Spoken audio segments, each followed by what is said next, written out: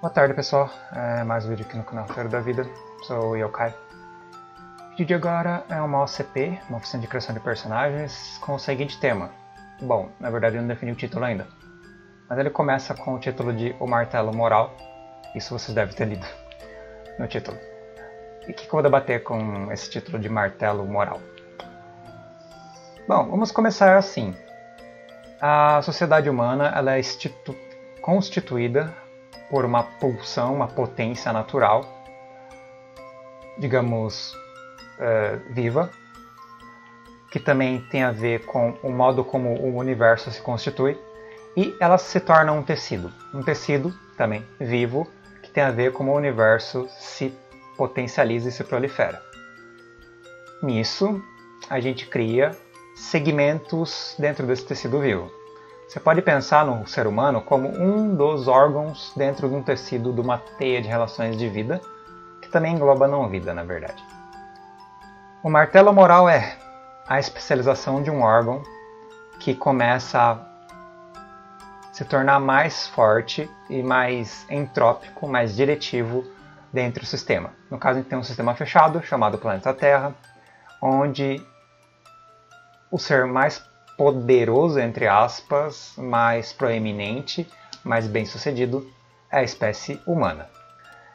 Então você tem ali uma espécie de potência aplicada, de êxito aplicado, de tem uma palavra para isso, de grande capacidade mesmo, de, de enfim, de habilidade também. Essas palavras positivas, né, de você conseguir conquistar, de você conseguir manter sob o controle, você conseguir proliferar e você conseguir ser vitorioso e todas as qualidades que você dá para alguém que consegue sobreviver. O que acontece quando você entra no tecido social dentro da espécie? Você tem um corpo constituído dentro da espécie, pense na espécie como um corpo físico, corpo humano, e tem tecidos. Alguns tecidos têm maior vantagem do que outros, tipo, pode-se pensar que o cérebro é um tecido que tem muita vantagem, porque ele sempre tem que estar alimentado, ele sempre tem que estar bem, ele consome a maior parte da energia do corpo humano. Quando eu faço esse paralelo, a gente pode pensar no cérebro como se fossem os bilionários. Eles são aqueles que acumulam e aqueles que degradam o resto do corpo se for necessário, porque ele precisa de energia. E você pensa nas suas mãos cheias de cicatriz, trabalhando na roça, no seu fígado tudo lascado por causa que você não está se alimentando direito, no seu sangue desequilibrado, de um modo ou de outro. Pensa que o cérebro é um pouco isolado ele consegue sobreviver com pouco tranco, com pouco tocador, pouco sofrimento e o corpo sofre. Corpo é tecido social. Quando você perde as mãos, os pés, um órgão específico do corpo que por alguma lesão, o corpo entra em falência e morre. A sociedade humana é igual.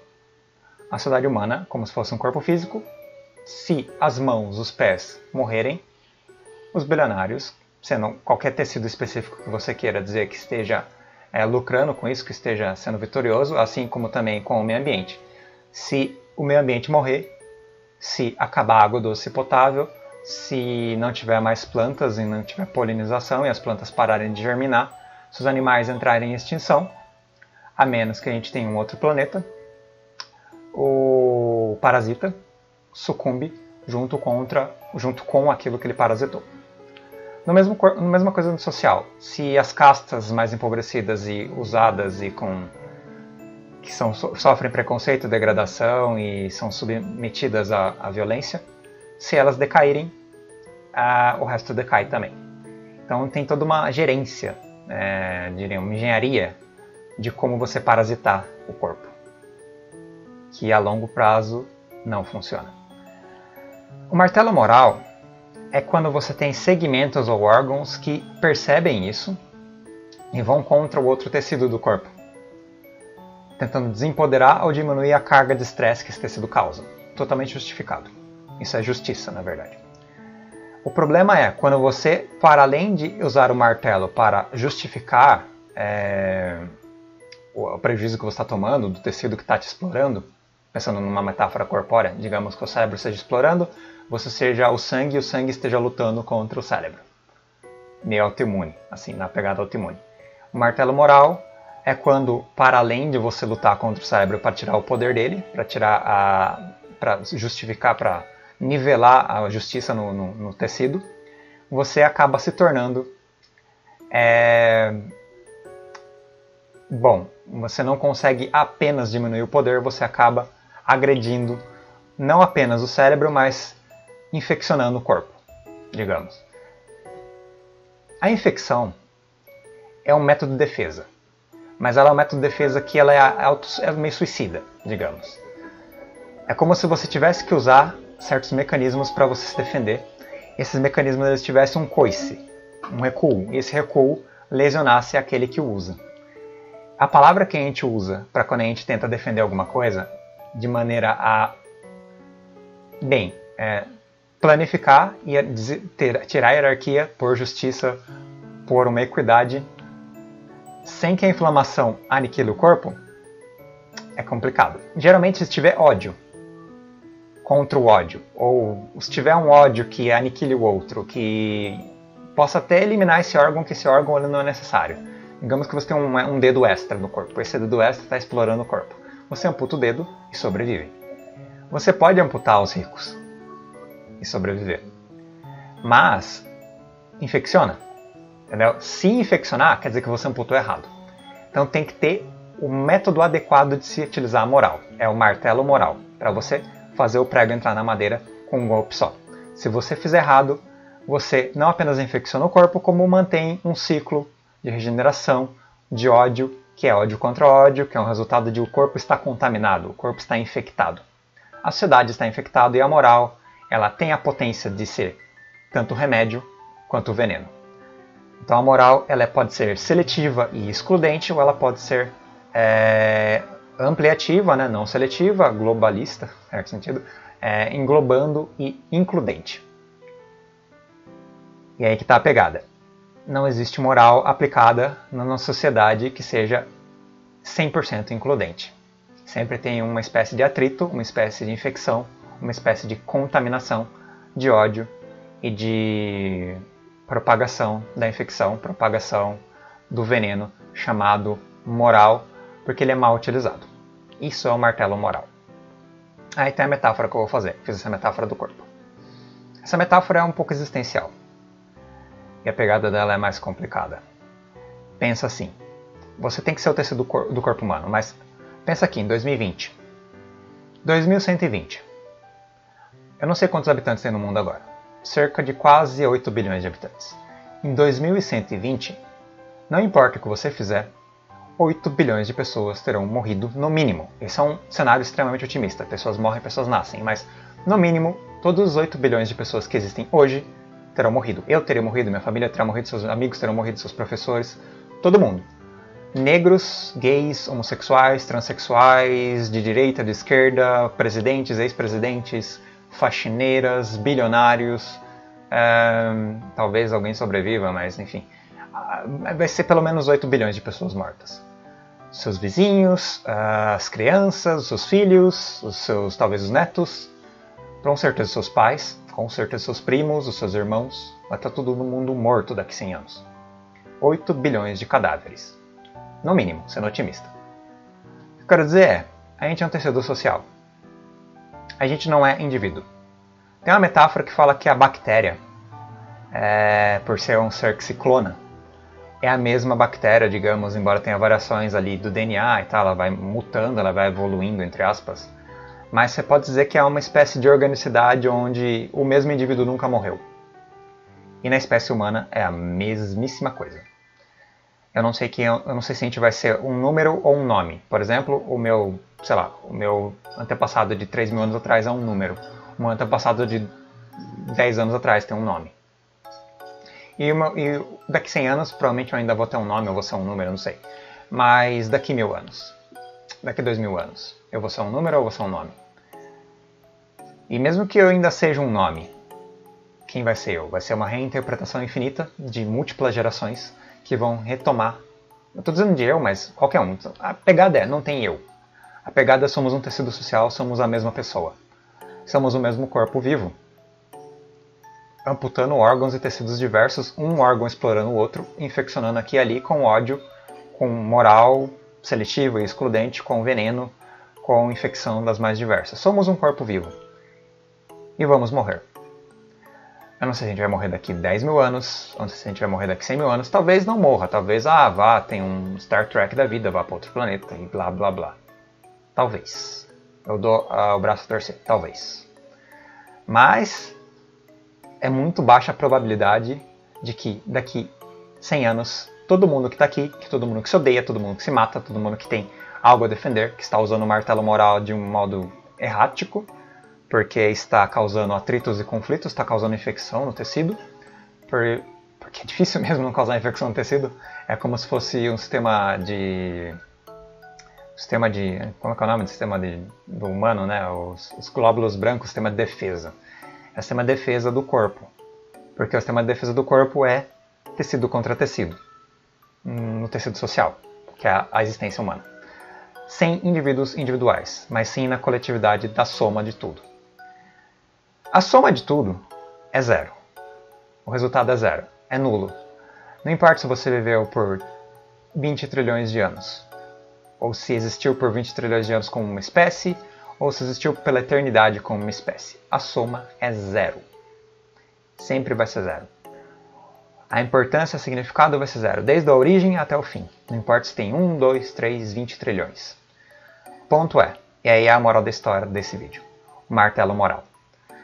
Se você quer ter um corpo saudável, você vai ter que parar de ter um martelo moral. Você vai ter que aprender a usar a ferramenta que você tem. E você vai ter que parar de contaminar e de usar o ódio contra o ódio, o veneno contra o veneno e ser moral, seletivo e excludente. Você tem que tratar as pessoas que você trata no presente, no decorrer da sua vida efêmera, de 70 anos em média, talvez mais daqui a um tempo. Você tem que tratar todos como você trata a pessoa que você mais ama. Pessoa que você mais endeusa. A pessoa que é o Deus para você. Tem que tratar ela com o mesmo respeito que você trata seu Deus. Não importa qual Deus que seja. Não sei se é o Deus religioso, conhecido como Deus mesmo, porque o nome dele é Deus, Jeová, sei lá o quê ou se é o deus muçulmano, muçulmano é mais deus, ou se é a iluminação espírita, ou se é um dos deuses ameríndios, ou aborígenes, ou dos povos árticos, ou dos povos africanos, não interessa qual deus que você acredita. Ou se é você mesmo, ou se é o deus científico, ou se é o deus antropocêntrico, que é o homem acima de tudo, o homem por si mesmo, como medida da existência. Você vai ter que amar a todo mundo como você ama o seu Deus.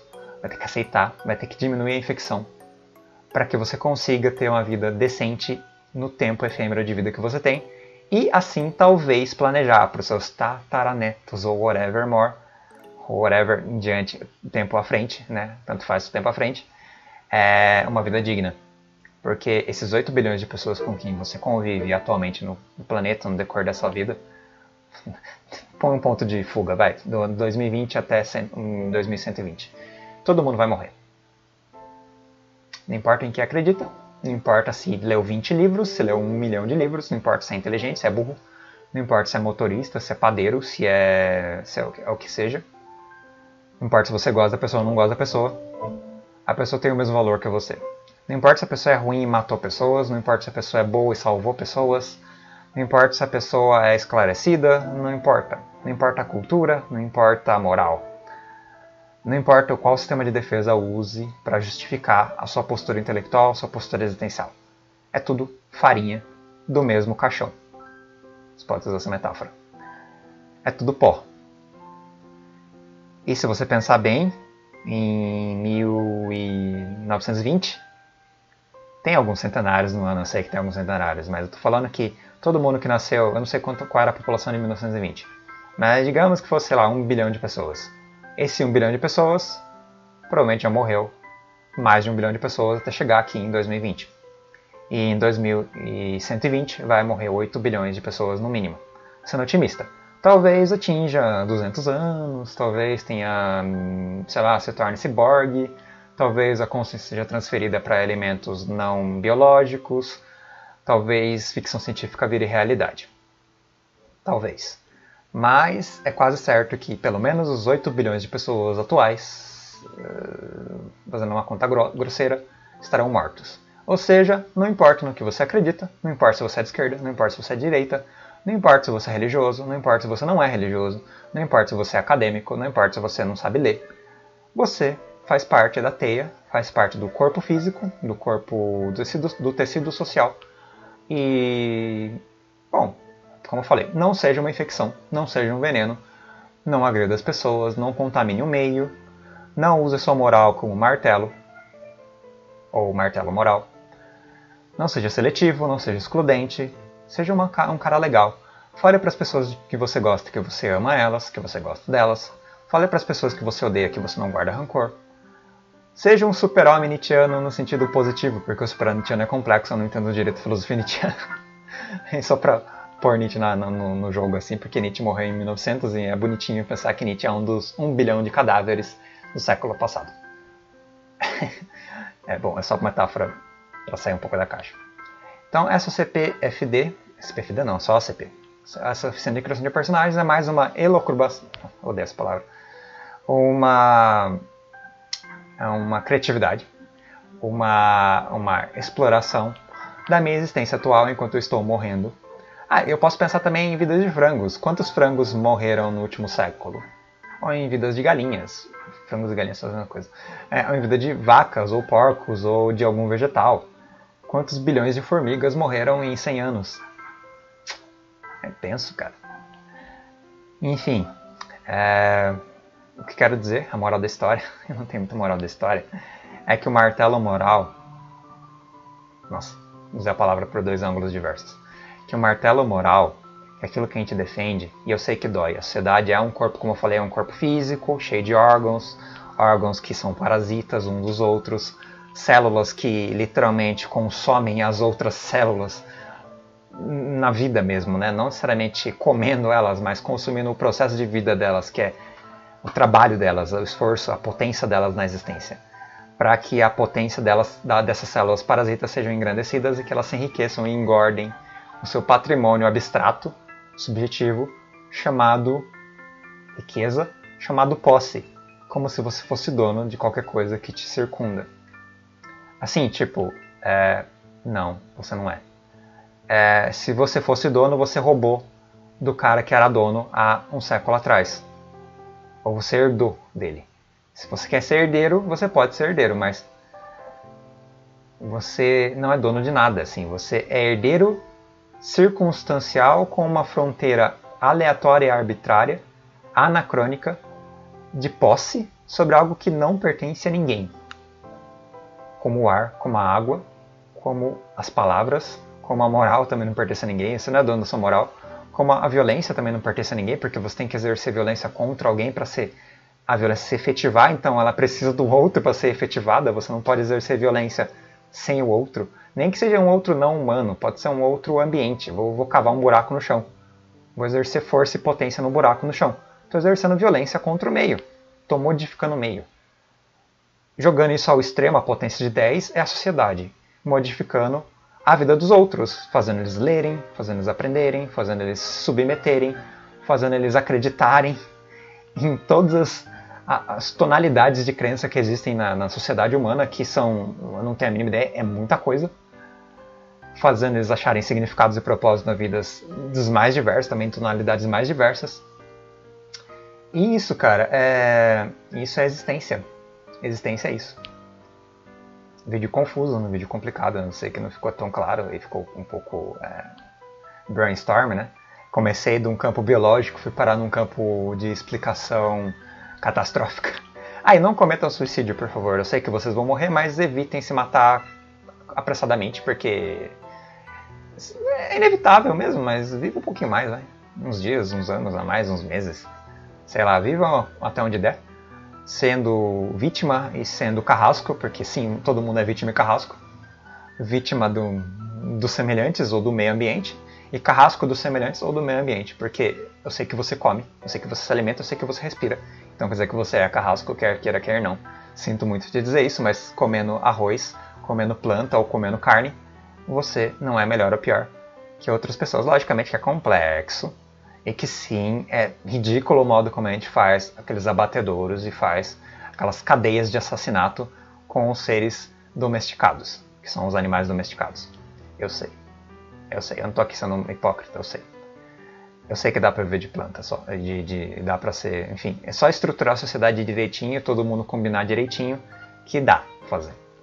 Agora, vai ser feito? Hum, é difícil. É, é muito, é o ódio que gera o ódio, a bola de neve do ódio, a contaminação da sociedade humana, que é uma contaminação herdada, em certo sentido, do nosso material genético, da, da própria vida, porque a vida é assim, ela funciona assim. E a nossa moral que representa isso, que reflete isso também é assim: seletiva e excludente, aniquiladora, consumidora, é, violenta. Agora, é lógico, você pode dizer, ah, mas o outro é mais violento do que eu. Sim, tem gradação, eu sei, tem gradação. É, alguém que está reagindo, por exemplo, é pobre ou é, sofre preconceito, é condicionado a ter uma vida precária, é violentado pela sociedade de N modos, eu não estou minimizando isso. Eu sei que é muito mais brutal e a vida dói muito mais, tem muito mais peso. É, mas hum, com isso tudo, o balaio todo, a, mesmo você sendo vítima da sociedade, é, você pode exercer uma reação. E como essa reação se propaga, ela pode ser um, um martelo moral que contamina, que infecciona, que é venenoso, que é seletivo e excludente, que é vingativo, e e propaga é, o caos e propaga o atrito, ou pode ser um, um bom martelo moral que corrija as coisas sem infeccionar, sem causar é, um efeito autoimune dentro do corpo social. É muito difícil.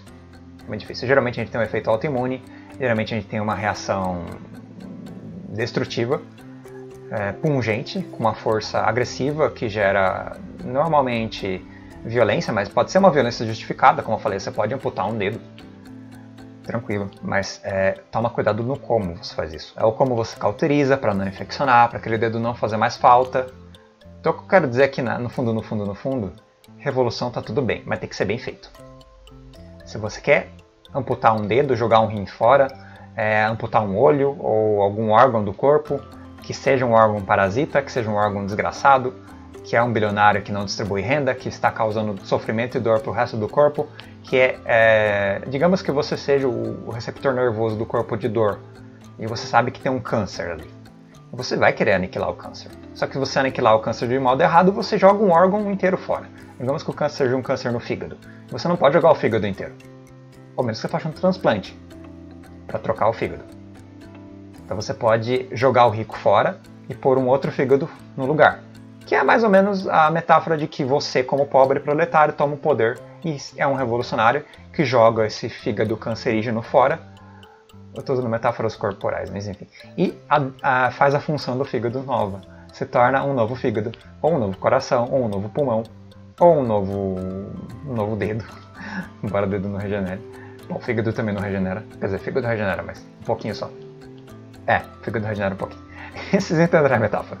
Entendeu? Ah, martelo moral, filho. Martelo moral. Eu sei que dói. Eu sei que a minoria é machucada, eu sei que é agredida.